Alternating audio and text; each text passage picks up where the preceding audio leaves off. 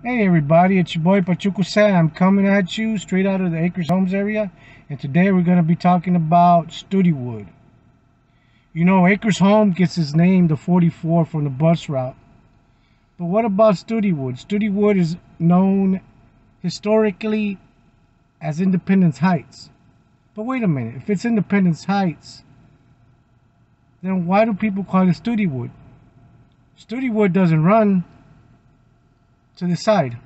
Studewood ends in the Houston Heights, in the Sunset Heights area. But why do they call it Studewood? Why do they call Independence Heights Studewood?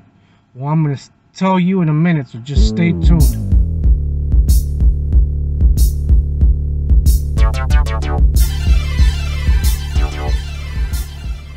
So back in the 1920s, Houston didn't have buses like they do now. They had streetcars uh, or trolleys, if you want to call them that. And they, just like light rail today, they were centered around downtown and they branched off into the little different subdivisions and neighborhoods. Streetcar number four was called the Studewood. And streetcar number four, the Studewood, would come from downtown through Studewood,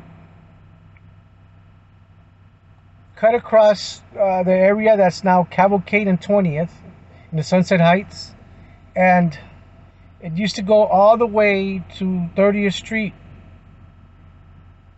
and then turn back around, and then come back down like either 27th or 29th Street, and then come back down North Main, and then Studewood and then back into downtown to his main deep. So the people that would ride the trolley to this side of town, to Acres Homes or to Independence Heights, just started calling it uh, the Studewood instead of a uh, streetcar number four. So when they would be asked where they were going to, well, Studewood, because the bus came this way. It's kind of like just like uh, Acres Homes. The bus route is 44 some people started calling this area uh, uh, the 4-4. Same thing with the streetcar.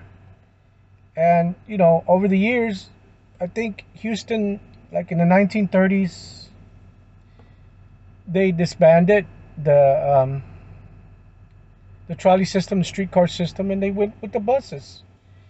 And that's how, um, you know, people got the name Studewood for Independence Heights. It just stuck, and it's been like that since the 1920s.